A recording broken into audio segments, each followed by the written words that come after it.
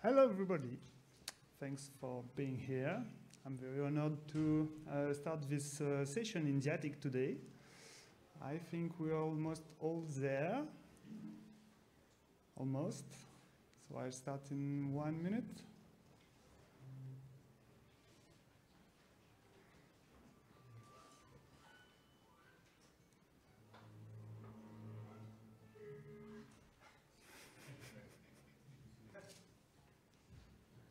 Keeps coming all the time. So I, it will be very crowded at the afternoon. Okay, let's start. So, uh, my name is Julien Blervaque, and um, I'm a tools technical director. I'm also a UX UI designer. I work in production, and uh, my job is to do the bridge between the developers and our users. And um, I try to provide them to ensure that they get not only uh, the features they need to work, but also they uh, get something that is um, very comfortable to use, that is reliable. So I try to provide our user a great journey with our tools, basically. So that's what we call uh, user experience.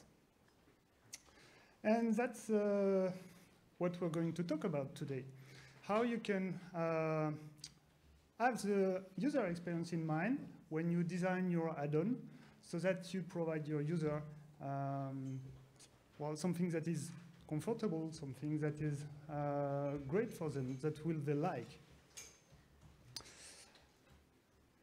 We'll go through some definitions, and some benefits, why uh, you'll see that there's a lot of work to do a good uh, UX and good UI, but we'll see why. There's uh, great benefits from that.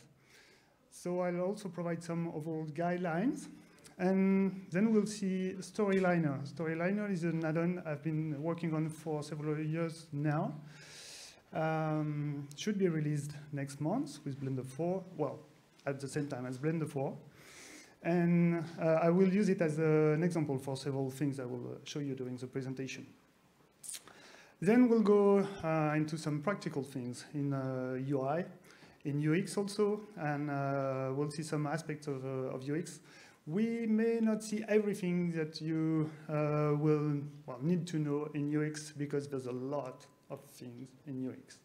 But, and at the end, we'll have some consideration for managing the development. So what is UI? Uh, UI, UX, that's uh, terms you may have heard about because they have been in the air for the last 10 years now, something like that. So it stands for user interface.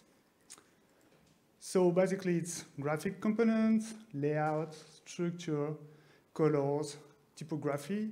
Uh, it's also transition animation, but it's also user inputs. So it's uh, everything that happens between the, the user and the screen and the interaction, all the interaction that goes with it. So what is UX now? Well, it stands for user experience. It includes user interface, but it's wider than that. You have information, and by information, I mean not just the, the, displayed information, but all the information you need to take decision and to go through your workflow. You have the workflow, or the workflows, depending on the complexity of your add-on. You have the tooling. So when I say tooling, I don't mean features, uh, because features is more the functional part of your add-on. I mean, um, are you able to do what you want to do? Uh, for example, if you want to scale some keys, you're in the workflow, in an animation workflow, for example, you want to scale some keys, you don't have the scaling tool, that's a break in the user experience. That's a break in the, in the workflow, basically. So that in that sense, tooling is part of the user experience. And you have accessibility, which is uh, the ability to open uh, your add-on to a wide audience. But all that um, are consideration uh, that you have when uh, your user is in front of your add-on. Uh, they have opened the add-on, they are in Blender, they are playing with it. That's all the kind of uh, things you have to, to take care about in that context. But user experience is far more than that. User experience is also the testing you may have with your user. It's the feedback you get from your users.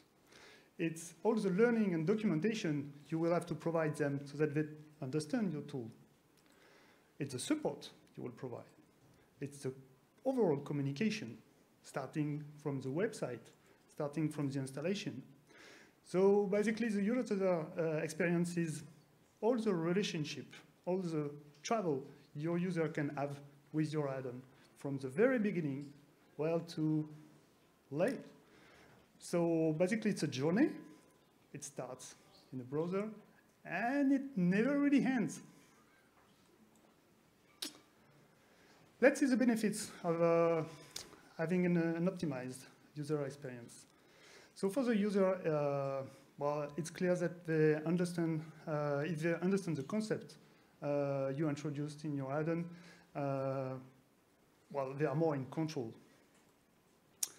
It's easier onboarding if your add-on is easy to use, is intuitive, you have a kind of a self-documentation already. So uh, it's faster for a user to understand and to be autonomous with your, uh, with your tools if, uh, well, they can predict how it will work just by uh, knowing if it's uh, consistent or not, for example.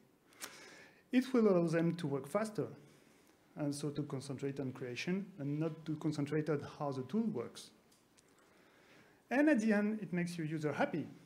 And that's what we all want as a developer, after all.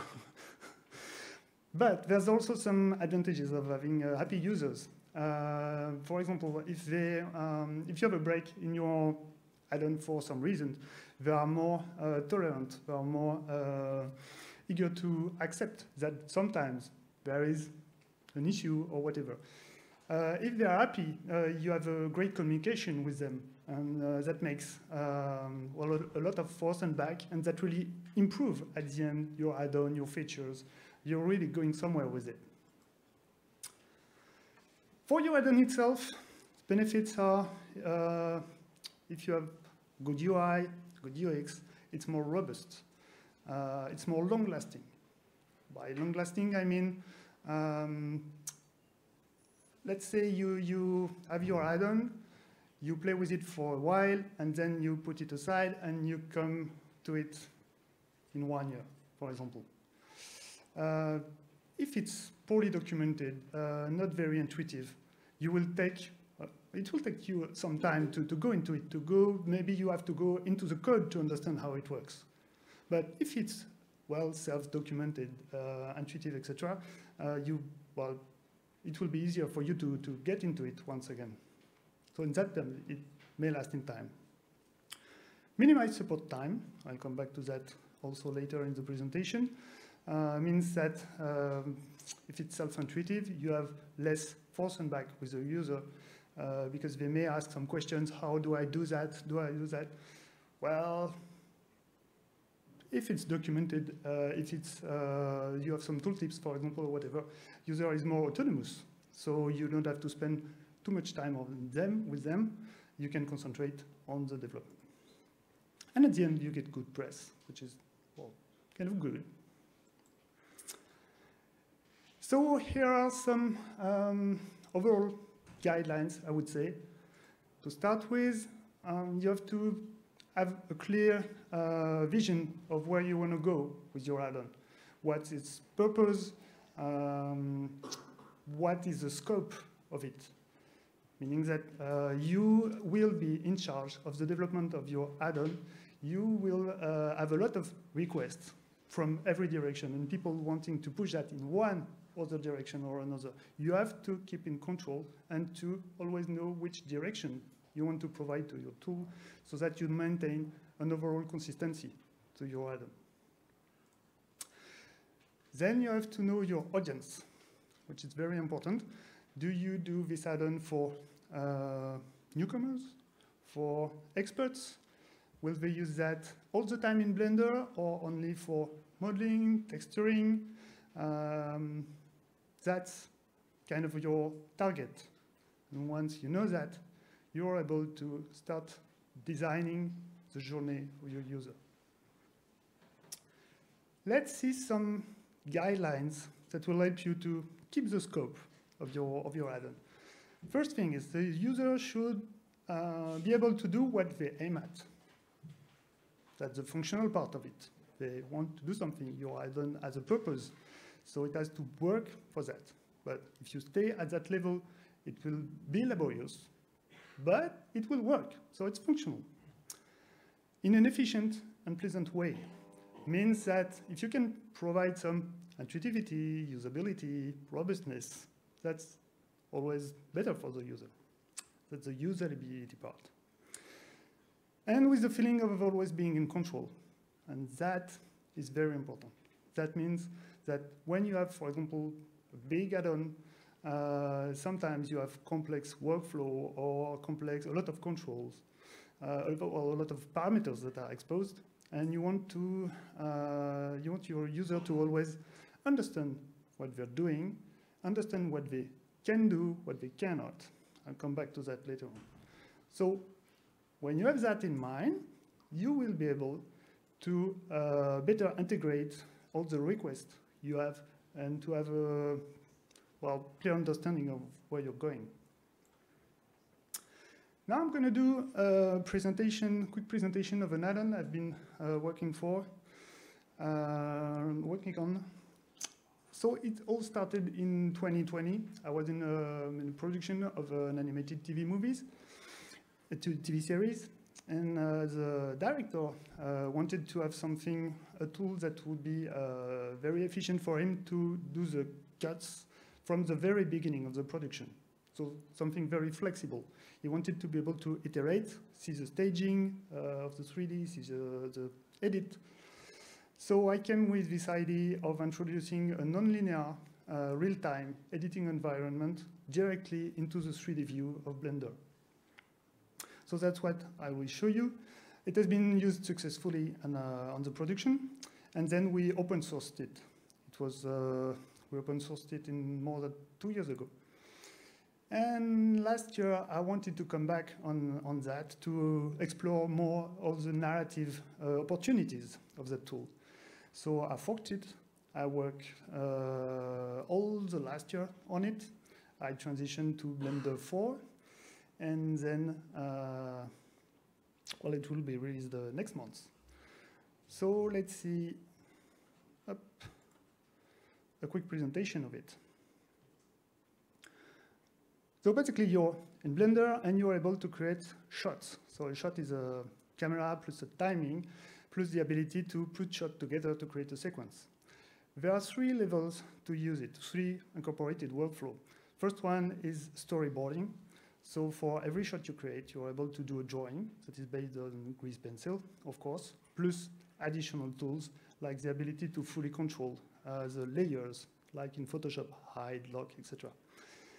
You can uh, play that in a non-linear way uh, to create an animatics. And then for every shot, uh, when you have a drawing on it, you can smoothly transition to uh, an hybrid 2D, 3D workflow, where you put the content of your shot, your drawing, you put that into a 3D scene. So now there's a big transition, and you're fully 3D. That's also perfectly uh, suitable for previs. Let's say you have a continuous action, like this one, and with the tool, you can very, very quickly introduce new shots. So I just place the camera here, I change the timing, I move again, I'm later in time, I place another camera. I move again, I place another camera. And in just a few clicks, like that, no longer than that, you have an edit. And it plays in real time. That's incredible. That's really changing the way you can direct uh, your, your sequence. So here is the result of it.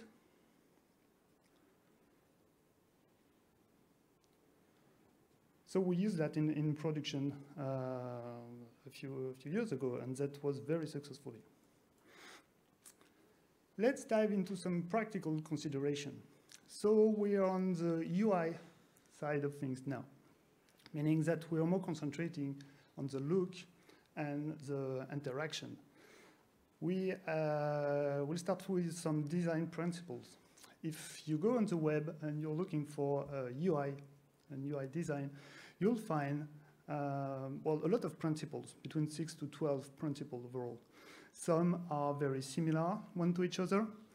Um, some are taken care by the API of Blender. You don't have to concentrate on responsiveness, for example, if you develop uh, directly in, uh, in Python uh, with Blender. One that I like very much, because you have it all the time, whether it is for the visuals, whether it is for the um, interactions or behaviors. It's called consistency. It's probably the most important thing uh, you have to, to take care of when you're doing, well, any development that is integrated in a larger environment. So the um, aim, your aim, should be to make the experience very transparent for your user, like exactly as if your add-on was um, natively integrated in Blender. They don't have to feel that they switch to another environment or having some custom tools, etc. They have to uh, feel that uh, it's part of their working uh, inside, inside Blender.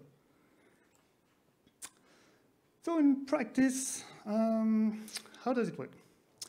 We have a property. Let's say it's called transparency, simple property. We want to integrate that uh, to have the same look and feel that any other properties that you already have in Blender, for example. So the first thing is you find a reference, so properties that is equivalent. So I find this one, which is opacity. It's in the grease pencil layers. Transparency, opacity, not exactly the same. One is the opposite of the other. You have to maintain the concepts that are um, exposed and used in Blender so you have to switch from transparency to opacity to uh, avoid the user to kind of, I have a mind switch, what kind of concept I'm manipulating, basically. So first thing, we'll switch to opacity. Then you match the terminology. That's, well, what we, we've done. Terminology, uh, concept, etc. You have to match the way it is presented in the UI. So uh, capital letters, punctuation. There's no punctuation in Blender overall, so don't use commas or. Then you present the property as it is in Blender. You separate the label and the, the control. Then you use a slider, which is not by default, but sliders are not used everywhere, so just try to match your reference. Then you match the range, and then the precision. And here you are. Ta-dam! So you got to have to go through all that to get the same results. So it seems to be a lot of work. Yes, but that's really worth it because at the end, you have the same experience. Also, uh, wanted to mention that uh, those last two steps are not just UI. It's not just matching the, well, the, the, the similarity with the slider. Uh, it's really kind of UX in the way that um, if you already have a clamped range for your property between 0 and 1, you don't have to take care of all the extra uh, values that could break your add-on. So it's part of the user experience also to, um, well, control the range of the possibilities uh, that your user may face with your control.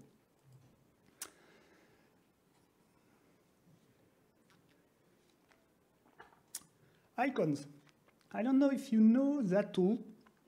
It's really, really wonderful, really helpful. It's called the um, Icon Viewer. It's integrated in Blender. And you see all the icons that are provided with Blender and that you can use in your scripts. What you can see also is that there is, they are very consistent. There's no colors or very few, and that's the same in Blender overall meaning that um, some things that are colored in Blender are well more um, highlighted somehow, so are supposed to be more important. So you have to maintain that consistency when you use the icons. Uh, those icons are very, very interesting. You can do a lot of things with them.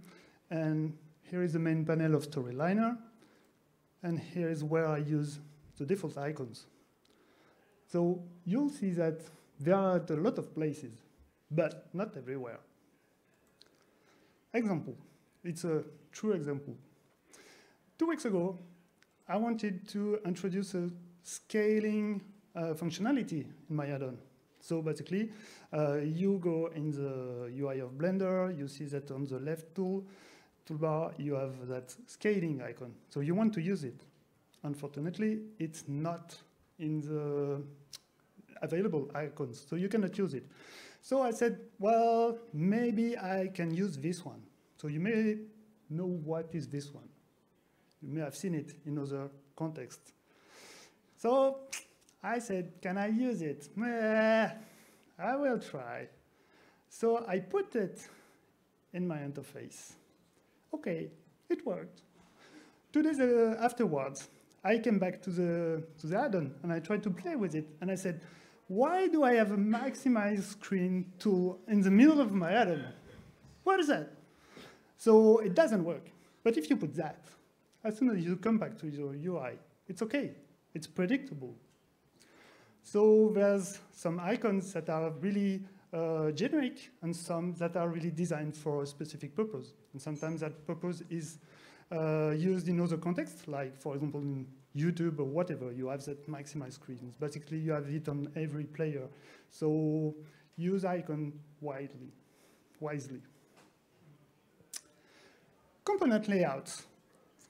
There's um, what we call the Gestalt theory, which is a theory that has been developed um, in the last centuries to uh, basically define what is our perception of uh, elements that are put together, how brain is uh, interpreting, is, uh, uh, well, what, what are the, the expectations we have from the association of various elements.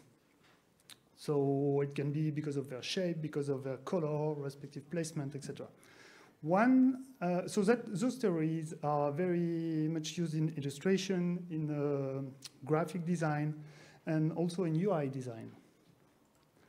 One that I like a lot is called a principle of proximity. It means that um, when objects are placed uh, together, they are perceived as belonging to the same group. So in terms of uh, UI design, it means that uh, those objects are supposed to have the same fate or become uh, part of the same category somehow. So in practice, if you have that kind of panel and you put all your properties like in a row, it's kind of difficult to understand what they're doing. But if you organize them, I didn't change anything. I even didn't change the, the order. I just put some spacers it could be spacers, it could be separators, it could be um, titles, it could be boxes. Uh, it can also be that which are rollouts if you want to hide some information so you kind of group them or categorize them. And you see that when you have that, you have some more examples, the ability to um, make your user understand that this, for example, is related to the whole group just because you have a frame around your properties. And I take the opportunity to have this panel into the eyes to highlight also one thing. When you organize your properties, try to have kind of a flow in mind, uh, starting to, well, have a logical approach. For example, here it's in the preference properties. I put all the things that you don't use at the bottom of it. But what you have to avoid is to have some properties that should be used together at the same time by the user, and one will be there, one there, one there, etc. So you have to try to avoid traveling, basically. Similar components are expected to behave, to behave in a similar fashion. That means that when they look the same, user expect them to behave the same. So what do we have here? We are in the render panel of a storyliner, and we have those six um, buttons or association of buttons. Each one of them is controlling one kind of export you can do with the tool.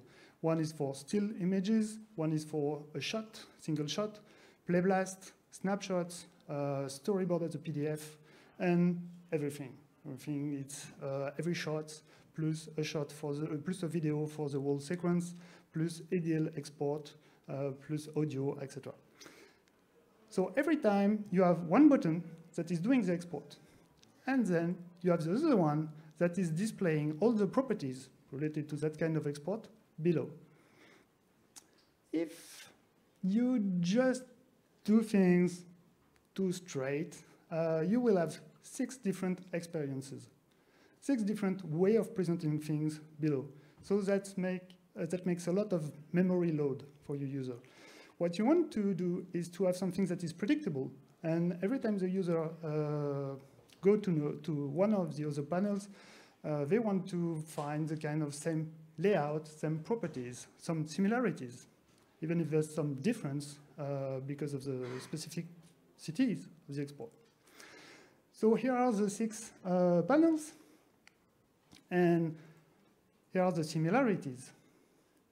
All that are exactly the same, plus what is not highlighted is the specificities of each export. So it's very predictable, even if you've never used one of those exports. Um, in Storyliner, there are two, um, I would say, particular widgets. So here is the panel.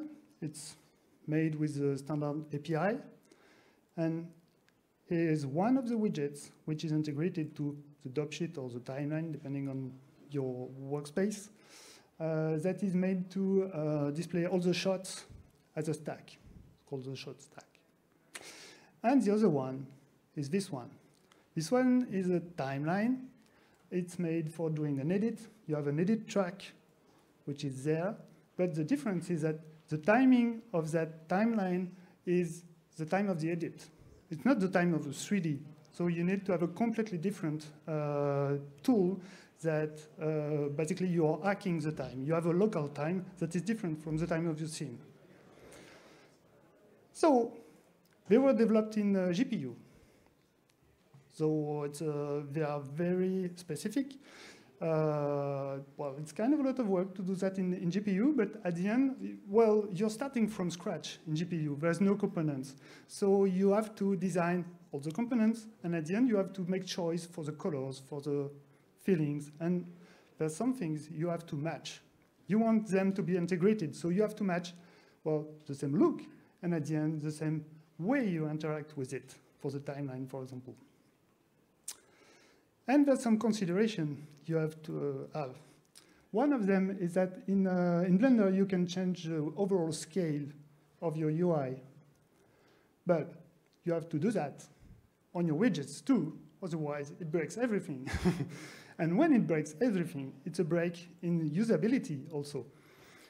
We see that here, when you have the keys, if those uh, clips don't match the size of the lines, it's a mess.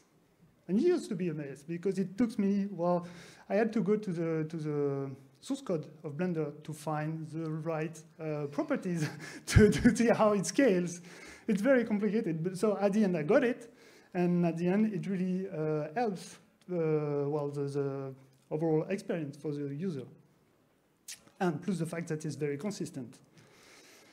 Uh, it goes beyond that in the way that uh, you also have to match um, the theme. Basically, if the user changes the color, you also have to do that.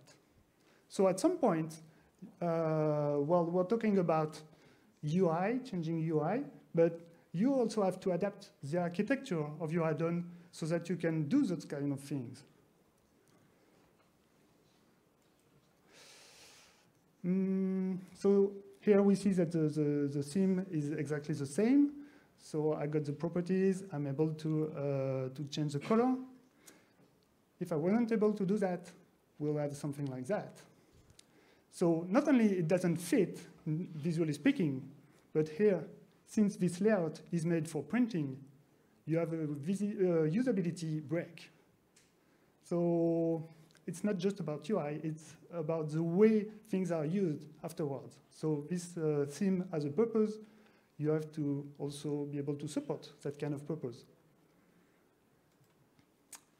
Now we'll see um, what a component may look like when it's not finished, in that case, or not uh, fully integrated.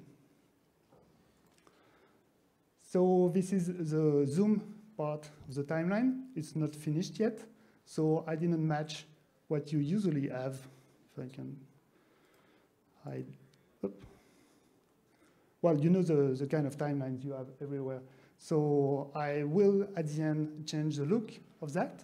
But at the moment, it's working. It's functional, but it's not usable because it doesn't match the look and doesn't match exactly the, the feeling and the events. So, doop, doop, doop, back to that. Users should be able to do what they aim at uh, in an efficient and pleasant way. Feeling of always being in control. So we're switching to UX now. We'll see that in details. Golden rule that I use all the time. Anytime, the user should know the state of the system and what they can do and what they cannot. Golden rule. And if, well, uh, you have for that to provide some more information, well, you can do that. We'll see how. So in practice, uh, when I design um, the interface of my add-on, for example, when I play with it, I'm in the middle of the workflow. And what I do is I let the mouse on the table I do one step back, I look at the screen, and I'm wondering, am I understanding everything there? Do I have all the information I need uh, to understand what is happening, to understand the state of the system, and to understand what I can do next? That's very important. And you'll see, sometimes you will be surprised with that. Just you'll see that you're missing an information, for example, or it's placed uh, somewhere that is not really the right place for it at the moment when you need it. So golden rule, keep that in mind. And how you do that? Here we can look at the UI and see that there's different colors and different states. So basically, uh, well, a state is a convention somehow, so a button that is disabled uh, is the same in any application. A button that is toggle, it's the same. The only difference is here in Blender, it's blue by default. It's red when it's an alert, uh, and it's grayed out uh, when it's disabled. Same for everywhere. So just looking at that, you have an understanding that you have several modes that are activated because some are blue. So it, if you didn't have that, if you had just one button that is doing a toggle but don't reflect it, somehow you, in the workflow, you will do something and you said, uh, it's not supposed to work like that at that moment. But thanks to the highlight, you know that, oh, that's because I've toggled that. That's because I am in shot play mode, for example. You can, um, well, go further in that by doing highlights. If your user has a doped, doesn't really know if they can use the button, for example, they can move the mouse over it. So that's very conventional. You have that on web, etc. There's the highlight part of things. So even the component I developed, well, you, you can change the mouse cursor also, which is an interesting way to show that you can interact with something. Um, well, you see that for the clips, for example, I added some uh, highlights because uh, I wanted to show that you can interact with it. And now you have to provide some feedback when you have done an interaction with that. Meaning that when you click on something and nothing happens, you start wondering, have I done something? Did I change something? And what? But if you uh, provide a way to have a visual feedback every time the user clicks on something, whether it is a menu, uh, it is a color change, uh, it is a display. Users expect to have, uh, to have something that happens when they interact with the system.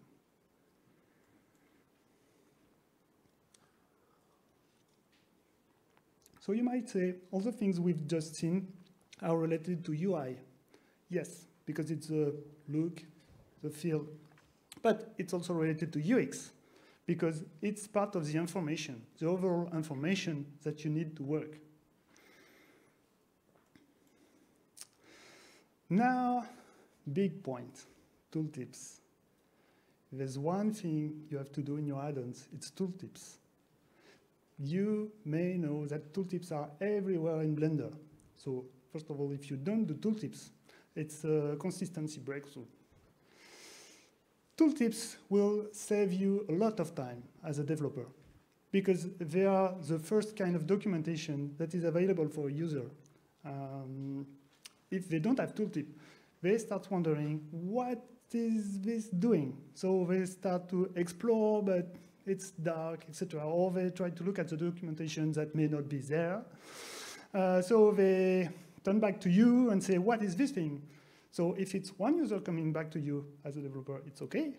If it's 20, it takes a lot of time. It's 300, well, just because you miss a tooltip, that's unfortunate. So tooltips. Tooltips, as I said, you have them everywhere in Blender, so in your add-ons you have to introduce them too. In Blender, there's also this uh, thing that when you have a shortcut that is associated to the control, uh, it's displayed in the tooltip, which is really great, great information. Sometimes tooltips are not enough, so I developed what I call the quick help. It starts with a tooltip, and you can have far more information on that. That's also because tooltips are limited in the number of characters. So I also added an hyperlink. You can go directly to the documentation. And I answered a button that allow you to hide the button when you got it. So I placed those kind of components uh, almost everywhere in the, in the add-on. That really helps for onboarding. And when people knows about a feature, they just hide the window, and uh, so it makes the whole uh, panel uh, lighter at the end. Of course, for you as a backend, it's more work because you have to keep the state of those uh, buttons and stuff like that. So there is a whole theme that I won't dive into, but uh, it's called preference, where you put your preference, how you manage the user preference. So the topic to have in mind when you're doing UX, and I'll go quick on that. Uh, errors, error handling, um, capacity to recover, to inform when something is going wrong, because you may do a lot of testing, you won't be able to cover everything. So what happens uh, when something goes wrong? So you have to avoid crashes, because uh, users tend not to like that. Uh, plus, after a crash, you don't know the state of the system. You don't know if your data are corrupted or you can still continue doing your work. So handling the error is a very important uh, aspect of UX. Feedback, when something goes wrong, you have to inform the user. Decision, meaning that you have to uh, provide him options. Uh, you may restart the computer. Uh, step back, oh, just uh, undo things and that will be okay. Preferences, there's different kind of preferences. Those that uh, you want to have in the add-on level, uh, because you want to have them at every session, for example. Those that are part of the session, like I just unchecked that button, and every time I add a new shot, for example, I want that button to be unchecked. But next time I will start a new scene, a new Blender file, I want that option to be back as, uh, as it was at the beginning, because uh, the context has changed, so I may use that add shot in another way. Uh, so where do you store those preferences? You may also want to store that in the scene. Uh, as a TD, I find it very convenient to be able to open a scene from a user where I find all the layout they are using, all the preferences they have uh, customized so that I really understand their context and I'm more able to uh, see the, the problem or to help them with that. Installation, update, patches, support, contact, everything that is beyond the simple use of your add-on inside Blender. Documentation and tutorial, well, it's a whole world, it's a lot of work, but that's really worth it. Another aspect of uh, UX, how do you manage your development? Because we've seen that there's a lot of things, a lot of work. You may think it's a lot of common sense, which is true, but at the end, you feel like it's common sense because uh, the add-on has been made intuitive. But if you don't do that, you'll just feel that it's uh, rough to use, for example. So it's common sense plus a lot of work, a lot of good practices. And you easily feel that there is a break in the workflow, but um, for example, an add-on that has a great experience all the time and there's a break somewhere, you will focus on the break. Um, so it has to be to be overall polished, and that uh, kind of common sense has to be applied everywhere. Question, when you do an add-on, when do we stop improving, doing the usability and stuff? So the question is more, what is acceptable for a release? When do you release? You may have seen something like that. It's called the hierarchy of needs. That's based on uh, Maslow. Maslow did something for the human uh, hierarchy of needs, and you have a similar uh, hierarchy that has been proposed uh, by a university on the principle of design. So basically, it says that um, to go to the next step, you have to be sure that the step before uh, has been uh, completely satisfied.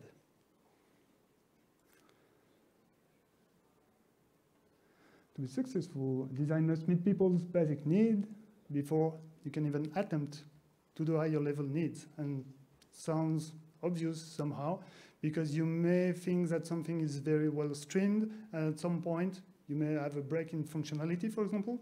So you really see the delta. Functionality means that it works in some condition on the thin red line. Like if you don't have uh, the right data, for example, it just may crash.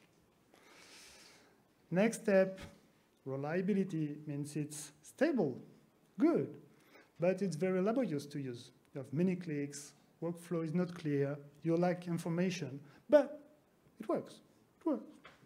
It works. Usability. That's what we talked about. And that in that one, there's a lot of work. Consistency, logic, easy to use, all the information we talk about, label, tooltips, progress bar, confirmation, all kinds, etc. Accessibility, forgiving, um, so that's uh, error handling, documentation tutorial, all those kind of things is, well, what you have to concentrate on. But there is a graduation. Uh, you don't have to do everything. That will be the next point. Proficiency is the ability to empower the user uh, or to make him use efficiently. So you can have, for example, additional tools that are not part of the basic workflow and that are the kind of nice thing. Like it may have happened to you that sometimes you're using an application and you say, oh, this thing is cool, uh, I love that, this one. Uh, that's usually, that usually occurs at a point where your uh, whole project is already very usable, very mature. User customization comes here too. Uh, well, you can provide a way for your user to have his own environment with your add-on. And creativity. This one is uh, kind of hard to reach. uh, that's when your tool is so mature that it can be used in context that it was not made for. Uh, for example, that tool I presented could be used in architecture, for example. That would be great. That would mean that it's uh, an achievement. so the question is, how do you balance your development and your development time versus uh, your release? So you can go from functional to proficient, and here's the timeline. You can release here. It's fast to deliver. It's great. Your user can use it, can uh, uh, do what they need to do very quickly. Great. But it's unstable. You provide a low trust on your tool, which uh, takes a lot of time to recover. And it's hard to maintain afterward. If you go too much on proficiency, it means that you've spent a lot of time doing all that, so you don't release, so your users are uh, waiting for you. And in the meantime, they may find other tools or other ways or etc. So they, basically your, your, tool, your tool is not out. That's not very good either. But you have great usability and you have less support when you release it afterwards. So it's a trade-off. Um, so as I said, it takes longer to develop, and you may find that you takes a lot of time to develop something, and at the end, it's not the right thing to do, but it's too late. Uh, you've developed it, and your user told you that, uh, well, we don't want it to work that way at the end. Okay, but uh, if you had delivered early, earlier, uh, you would have seen that. So you have to find a balance. And the balance is you, from the very early design, you talk to your users and you get their feedback. And then you implement on that. And then you do a first release. It's not complete, it's functional, kind of robust, etc. You get the feedback. You implement. You do a release, version 1.2, 1.3, you get the feedback, etc. So at the end, it's called user-centered design. It's a whole approach of uh, UX, basically, and that's very, very efficient. It's a way to integrate your user into your development and to have uh, smart release. So back to that, uh, when do we stop? Well, we never stop, we iterate. What is acceptable for a release? Well, it depends of the respect of the time and the budget constraint, satisfy the user needs, have a good balance between all the features. Because what we've seen can be applied to a feature, but it can be applied overall on your whole add-on. Managing the development. So how to be sure your design is great? That's also a question you have to ask yourself. First of all, test. Test your add-on yourself. Sounds obvious, but uh, still you have to test it. You have to test it all the time to go through your test scenes, for example. And small warning on that, your test scenes may not be uh, representative enough of what happens in production. So always use new cases or plausible projects, or uh, true project if you can you are your first user, so if you're not satisfied with something, or if there's a break, and that you kind of click on that, um, well, you, you, you should be able to see it. And then test with your users. So get, the, get their feedback every time, as we said. That's part of the user-centered design. There's something, there's that book I don't know if you've read it, but I really recommend it. It's called Don't Make Me Think. It has been around for uh, 15 years, uh, three uh, editions already by Steve Krug. Really, really great. And one of the statements is if you have like three users, you can already have a very representative uh, feedback on the main issues you have with your application. As a conclusion, some takeaways, have a clear vision of where you go all the time, keep the scope of your add-on. At the same time, maintain consistency, do iterations all the time, take your time, talk to your users, take time to explore, and then integrate, and tooltips. tooltips, all the time, everywhere create great add-ons. And StoryLiner will be out uh, next month. Questions? Thank you.